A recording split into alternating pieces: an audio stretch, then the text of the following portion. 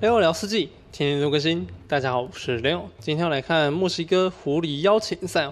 那这场比赛呢，有邀到我们的台湾选手，这个 Z 四哎不是 Z 四零，这个台湾选手有云大，还有这个 Sola Kuma 天空熊。那再来呢，这位绿色的玩家，他其实哦是 Z 四零哦，他的名字哦常常常在那边改来改去，不知道在干什么。他的名字非常的。多变了啊！那我们看到绿色是这个是 Z 四零啊，那对手呢都是这个法国非常有名的选手。呃，像米亥的话，也是在我们频道上比较常出现的，还有这个马姑姑。那紫色的话就没有那么常见到了，那他应该也是团战蛮厉害的，不然也不会来到这邀请赛一起来比。那这张地图呢是游牧，是台湾人最熟悉的地图游牧。那游牧的话，它的娱乐性质是比较高一点的，玩起来也不会有那种挫败感，因为毕竟大部分的事件哦都是随机部分也是蛮高的。但是有海的关系哦，还是可以有一定的维持肉量，有一定的配置，经济上来说也不会非常落后太严重。那就只有一开始的选址来说，就是比较运气的部分哦。好，那我们今天看到这边天空熊选址选在中间。好，先来看台湾队，那克劳德是在中间的位置那么下面下面就是米亥了，米亥应该是跟马姑姑是差不多同等大将的。那刚好台湾两两队最强的玩家都被对到了。那来看一下这个我们的 Z 四零哦，Z 四零在左边这个位置啊。其实分布来说，台湾队都是比较偏中间的，那法国队的话都是偏上下方的。好，红色是马姑姑，那左边的话是紫色。好，那我们就先来讲文明了。先来讲对手的哈。那波波人呢，最大的特色哦，是可以让队友使用这个骑马的这个标骑兵哦。那这个骑马标骑兵的优势哦，是可以骑马的。这个叫什么？应该叫做标枪骑兵啊，不是标骑兵啊。那标枪骑兵的话，它的肉量是比一般战矛兵的肉量比较多一点哦。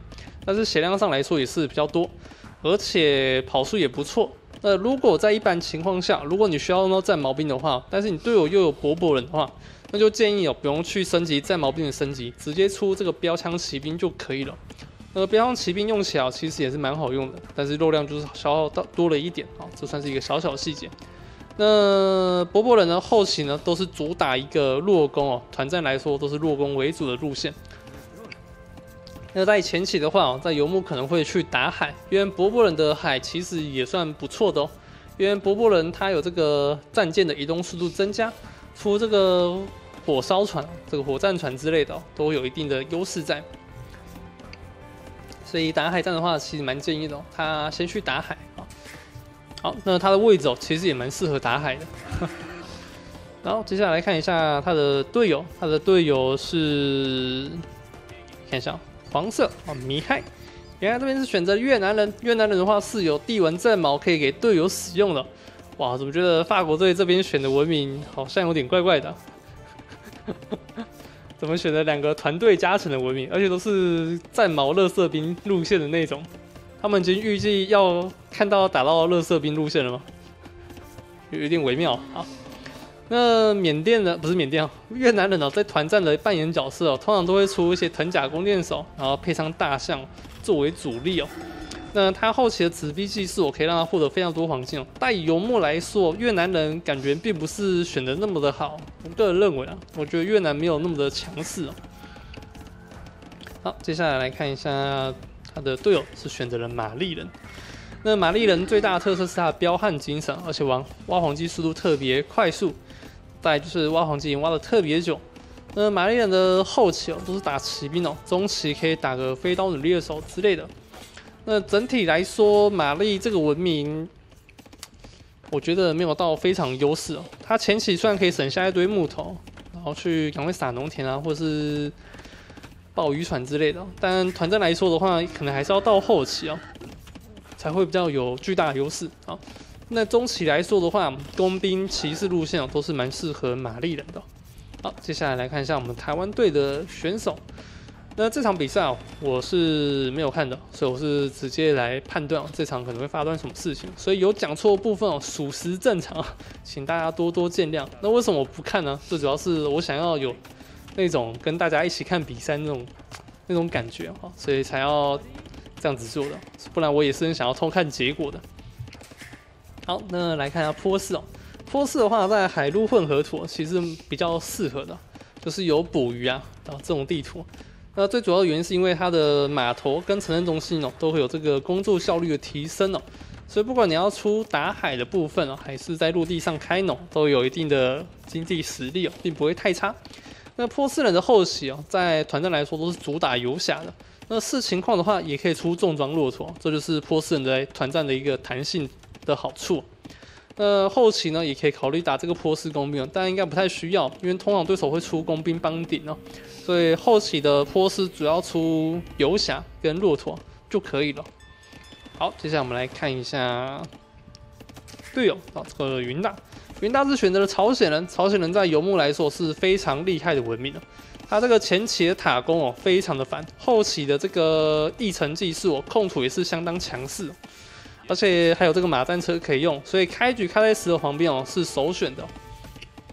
有石头的话，他就可以尽尽情的开搞啊，要不管你要插对方啊，或是防守，都有一定的优势哦，而且挖石头的效率又快啊。所以朝鲜来说，在游牧，我觉得算是选择非常漂亮的一个文明。好，接下来我们来看一下 Z 四零啊，Z 四零这边选的是勃艮第人了。那勃艮第人最大的特色是可以提前一个时代哦升级经济科技啊。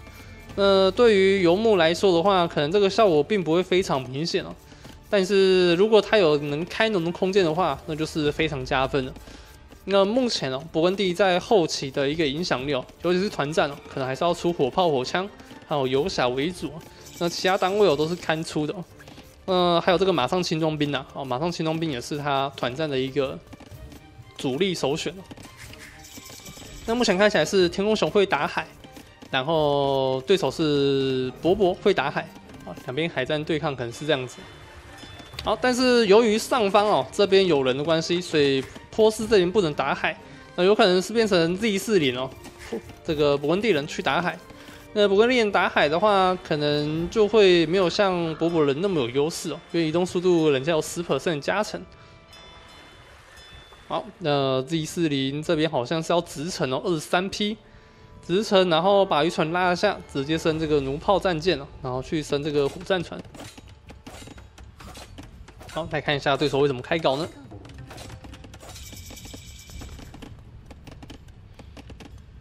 那纵观看起来，我是比较看好台湾队的，当然是也是因为我是台湾人的关系哦，所以我会比较希望台湾队会赢。那文明上来说，我觉得台湾队是选的比较好一些的。那对面选的比较好的文明，我觉得只有伯伯跟玛丽吧，会比较好一点。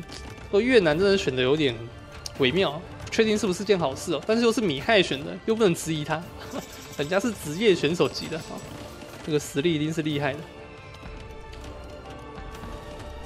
好，这边红色果然开搞了天空熊，天空熊直接被插了一根箭塔，但还好他这边也是有挖石头的，所以这里待会儿还是可以盖一根箭塔去反制回去的。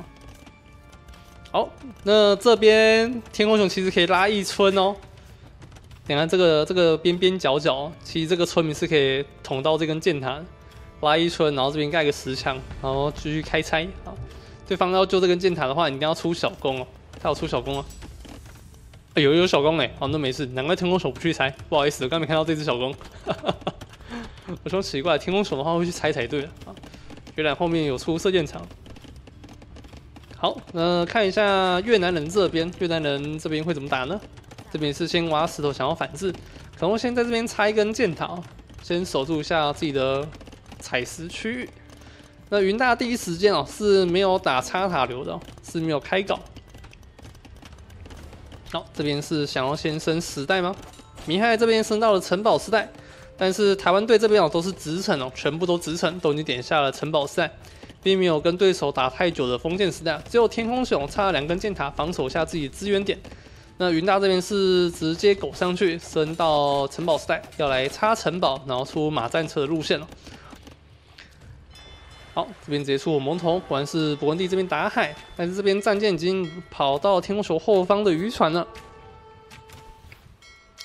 好，那云大云大的渔船被追着跑。好，这边战舰开始在反击了，勃艮第出了两艘火战船。好，那这边米汉也是升到帝王时代。这边帝王时代要先来盖一栋城堡吗？石头量其实蛮够的哦。这边盖一栋城堡还不错，还可以控金。我觉得他会插在这里啊，这个位置还不错。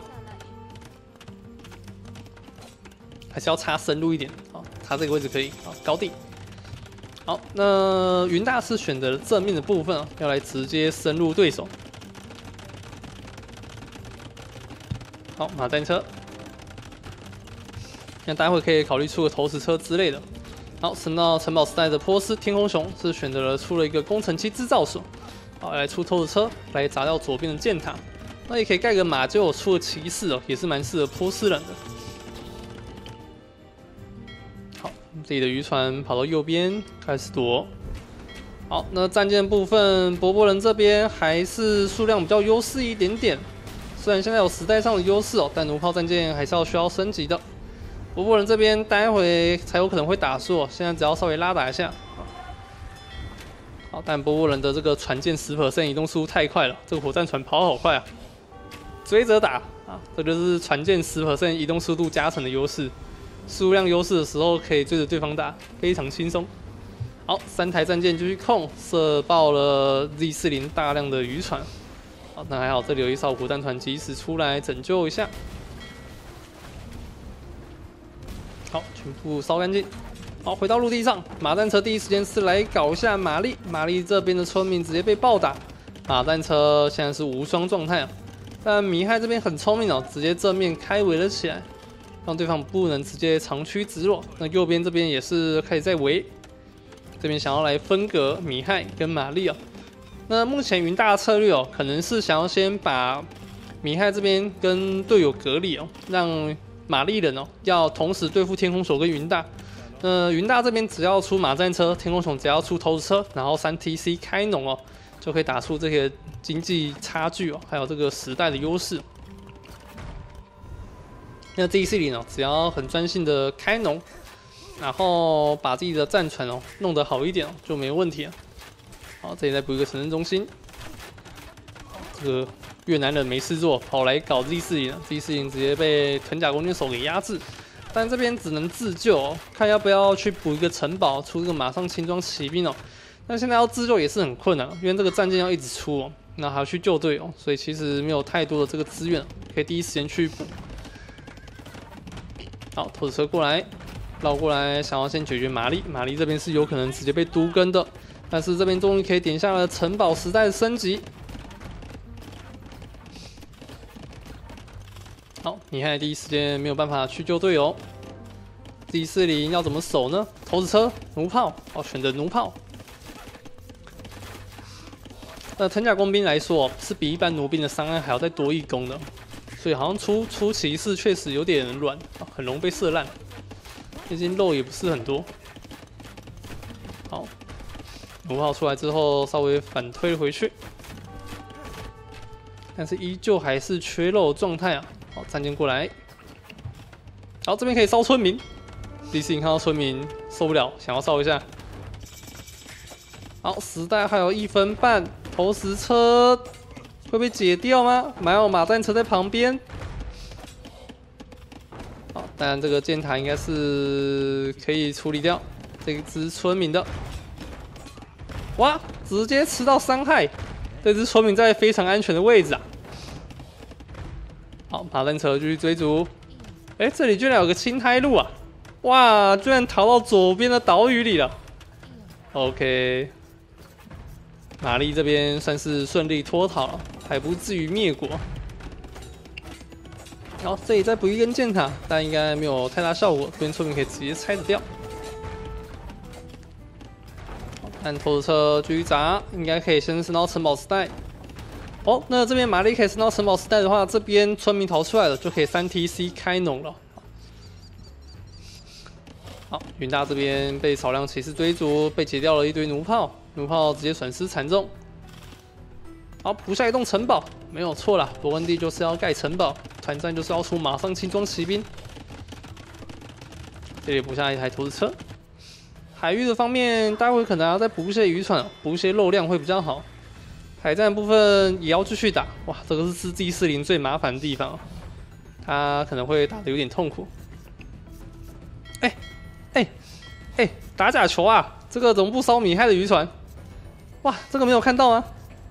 这个渔船抓到米害就有可能会爆掉哦。好，藤甲攻击手这边过来下方，但云大下方没有围死。哇，这边走过来咯！天空熊看到，云大有看到，两边都看到。好，那我觉得天空熊他们这边可以不用再鞭尸了。哦，结果正面还补下了修道院。哇，这边要点这个救赎思想开招，这边是有可能反击回来的哦。天空熊要小心，但还好啊，这边三 T C 开农，现在村民数领先的是，看一下是谁啊？天空熊五十七村领先，哇，超多。好，藤甲弓箭手直接过来，看到马战车只能撤退。好，这里马上轻装骑兵，要不要按一下？好，这里补下了一个城堡，这根城堡可能会痛击 Z 四零哦。Z 四零现在也是被包夹的一个状况。哇，这个渔船还在补。Z 四零这边太忙了，没有时间去抓渔船。如果是我的话，我也是这个画面哦。渔船没在控，战船没在控，然后一直在打陆地战。说好我打海的，结果我没有打海，这个没有办法，难免的啊。好，骑士直接砍到了克劳德家里的村民。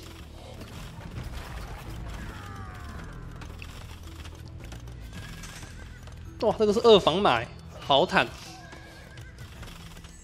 这个骑士没有要追，去追吗？马单车不去追，反是正面屠戮。好，这边这种开阔的洞来，终于要杀到米亥家里了。但米亥家里有足够藤甲工兵哦。硬扛的话，应该是有机会扛得下来。太阳工兵的基础伤害很高，而且还有两只僧侣招掉两只马战车，战况有点逆转哦。云大这一波进去会有有点危险，完蛋了，他这一坨要送掉了，剩七台，有点打不太赢了。这里只能极力的赶快去把藤甲攻击手打掉。哇，米亥这波守的很漂亮啊！反正这一这里一般人来说进去可能就爆炸了。但他这边直接堵口堵死，马单车直接被打了回去。好，那红色玛丽也没有直接全军撤退哦，反正出了一些投石车跟僧侣稍微来反制一下下。好，D C 营这边能够守住吗？马上轻重兵，赶快按一下，这边可以烧了回去。好，这边可能要转陆地开农了，海上不能再继续农了。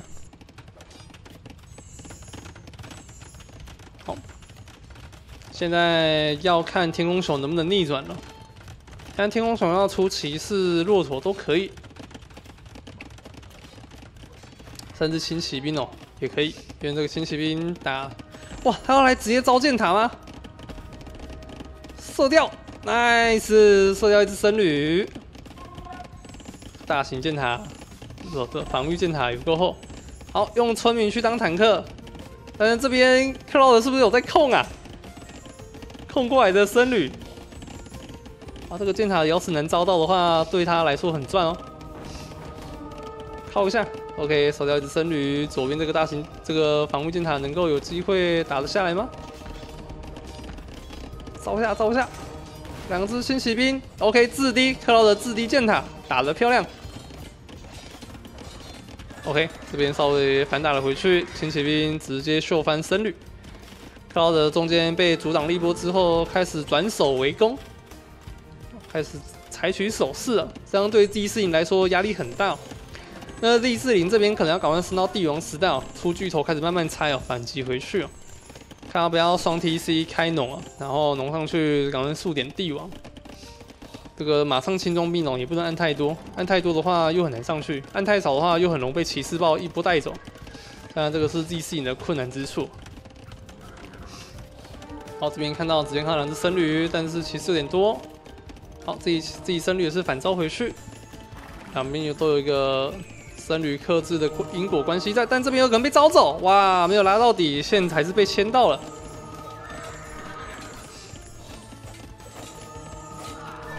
好这边反打一下，轻骑兵打僧侣太痛，三刀解决一只，效果太好。完蛋了，自己自己的僧侣全死了。那这边可能不能按的，不能按帝王，要赶快继续继续农，然后出马上轻中兵跟僧侣继续按了。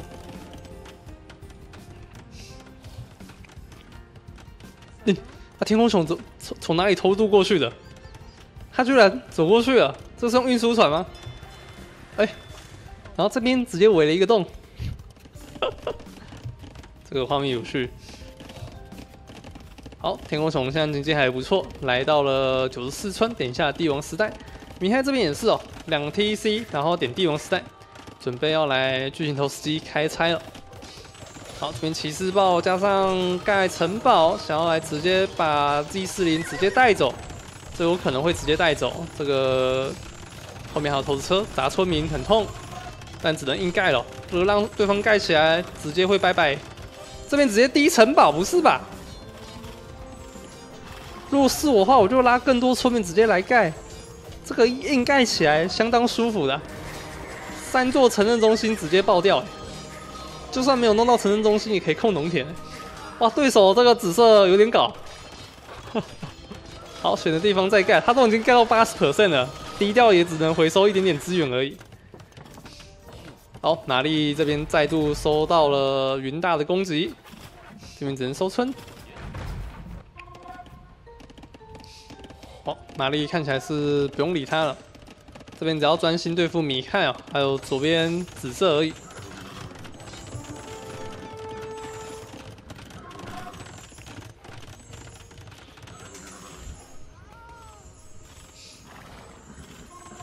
好，李世颖这边大量农田都没有再耕种了，转往其他地方获取安全的农田。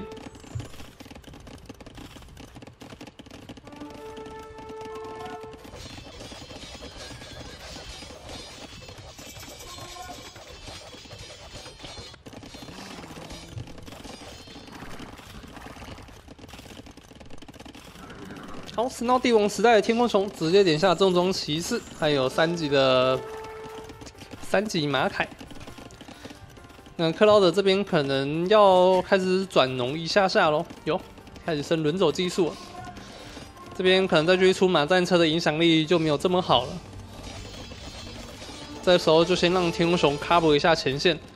然后自己赶快先点帝王出巨头帮忙拆，或者是三 TC 开农，都是云大现在最重要的事情了。好，二级木也点了，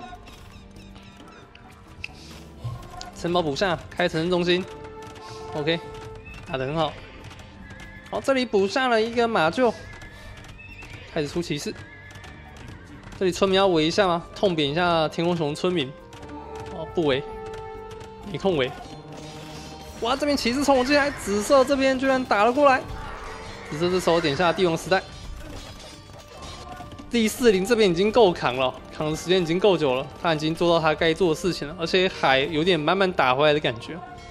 啊，对手有点是半气海状态，这个连这个战舰都没升级哦，就知道有点半气海。好，天空熊看到对方冲进来，直接重装骑士把对手给吓走。新骑兵加骆驼，直接打爆了红色的根据地。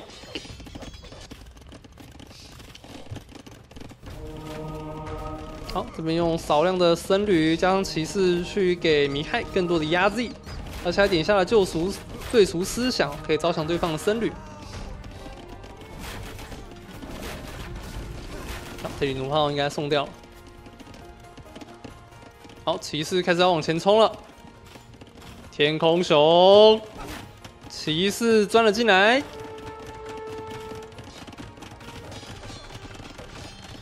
游侠也补下了。哇，这边米还补的超级快。但下方呢？下方还要再继续补哦。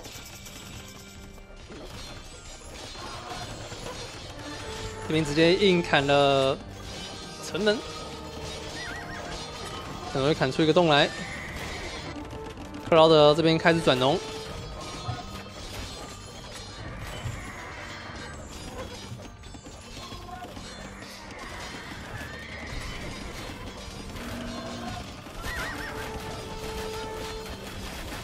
好，看下弓箭手过来救一下。哇，射骑士还是很痛，毕竟人家已经升到帝王时代有化学。好，第一波冲锋死光自己的重装骑士，但是还是有稍微打到米害的一些东西哦，但感觉并没有很伤。但是这一波伤害哦，让 Z 四零啊有机会把这根城堡给盖起来。这根城堡盖起来相当的好，但是三台巨头出来了，可能也是难守。问题有点多。好，OK，云大在后方也补下了自己城镇中心。OK，三 TC 开农，这一城中心被弄爆了。哦，这里要再补一个新的防线。第四营左边果然被拿下了，对方紫色升到帝王时代，巨头也开始拆了。这边可能要开始慢慢往下撤了。好，城东西继续补，这根城堡感觉守不住太久。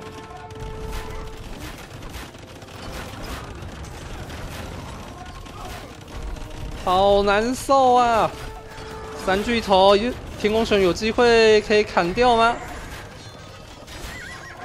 再一刀，游侠拿掉，但城堡也掉了，来不及救到 Z 四零的城堡，完蛋了！Z 四零左边被压过来，右边还有米亥，这边要再补一栋城堡啊！结果补的是米亥的城堡，哇！Z 四零相当绝望。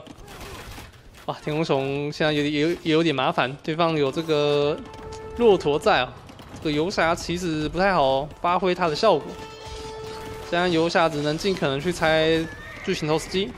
尽可能让对方的攻势哦减缓一点点哦，就可以帮到队友拖更久一点时间哦，然后让克劳岛先起来。那米亥这边哦就尽力全力防守，让对方失误就好了。然后面哦让这个波波人哦经济再更好一点哦，然后爆出更多骆驼，然后甚至弱攻也出来哦，这个战况可能就会逆转了。那确实哦，现在分数也逆转了，台湾队现在分数已经非常落后，克劳德现在有点难弄得起来，还是三九村。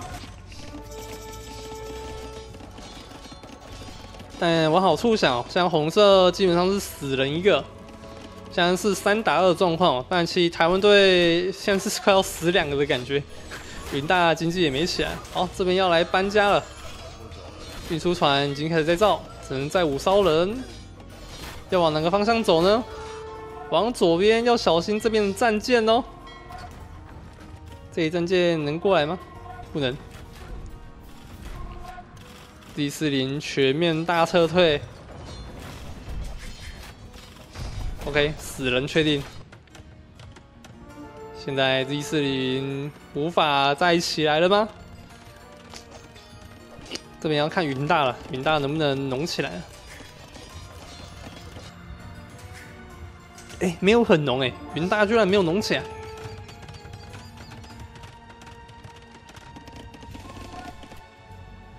左边这里村民也没什么按诶，可能刚刚被骚扰之后，村民就一直在保持这个数量。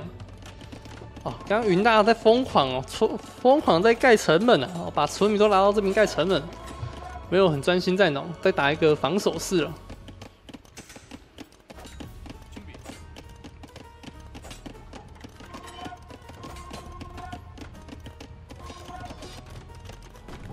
好，天空熊转出了一些骑兵，想要来挡一下对方的骆驼。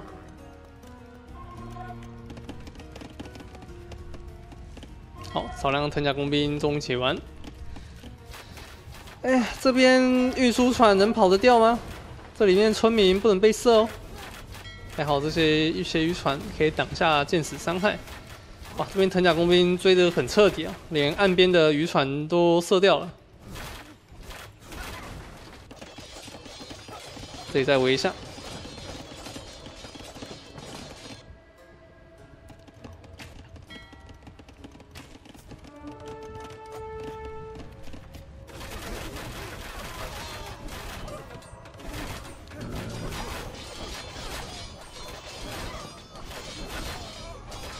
正面果然有点打不太赢，对方出了藤甲工兵加上骆驼这个组合非常难缠。没想到藤甲工兵变成了主力啊！虽然前期确实有点被压制住，但是到了后期啊，搭上队友的搭配组合，藤甲工兵也是不失战力的。那我觉得克劳德这边好像是不是有点出兵出过头，没有再弄？虽然本来就是二折一了。但我发现团战还是要边打边弄比较好。呃，不农的话，感觉有点很难打后期啊。这个后期不太容易。好，现在这边能应战的只有天空熊一位，天空熊要一个人扛住两家的帝王兵种。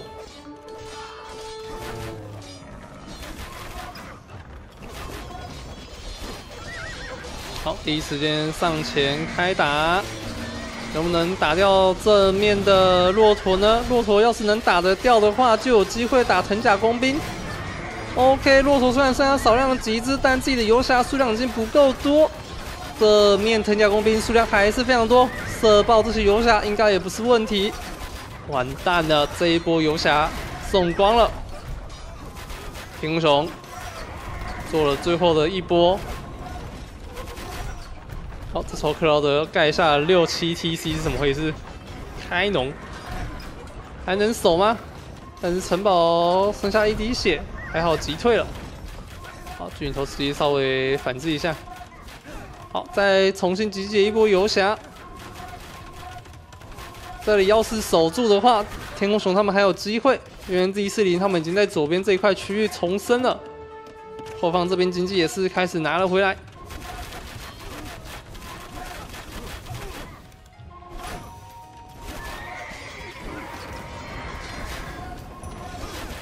好，这一波夹起来，完蛋！对方保护的很好，骆驼直接扛住前线，藤甲工兵有一个良好的输出环境。不要啊！天空熊要输了，哇，绝望，绝望，这个是真绝望。继续啊，这个没有了，这个没有了，哈哈哈。好，我们恭喜啊！法国队打赢了我们台湾的天空熊 D 四零，还有我们的云大。那台湾团队这一波确实也是打得非常漂亮，但是问题哦，还是有点有点多的感觉，不知道不知道怎么讲。D 四零，我觉得他已经做到他应有该做的事情，他本来就会面临这种情况。他前期海战也算是打赢了，也没有算打输，你看雨还可以继续补。哦，这就是为什么世纪帝国即使丢打输了海也没有关系啊，你只要陆地上打赢就好了啊。那我觉得 这也是世纪帝国蛮有趣的地方，就是不要因为自己打输了海就放弃哦。对手就是这样子哦，只是觉得说啊，算了，打输海没有关系，我们转陆地哦，直接痛扁这个打海的人啊。那米亥这边也是，正面虽然前期打不赢马战车哦，但是后期哦，他这个防守防得很不错。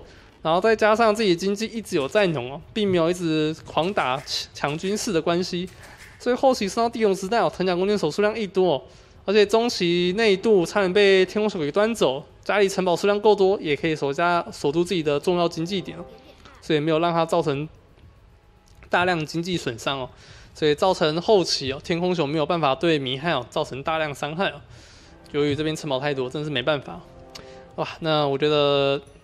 越南人哦，有点刷新刷新我对他团战的印象，因为我对团战的越南人的印象就是被中投还有榴弹炮 之类的东西给砸烂了，没有什么太大的效益哦。那如果是这样应对的话，米亥这个越南，确实做到一个很好的一个中间力量哦。虽然他可能不是非常强大的主力哦，在中期的时候，但是到了后期哦，这个藤甲弓箭手，只要对方没有出我刚刚说的一些工程器械哦。对方经济没有到非常完美的情况，藤甲弓箭手确实是一个难解之题哦。远防高，然后基本伤害又高，打游侠也会很痛，所以这也是造就后期哦台湾队打不赢正面这一波主力的原因哦。好啦，那我今天影片就差不多到这。那如果喜欢这支影片，请记得帮我下订阅，我们就下次再见喽，各位拜拜。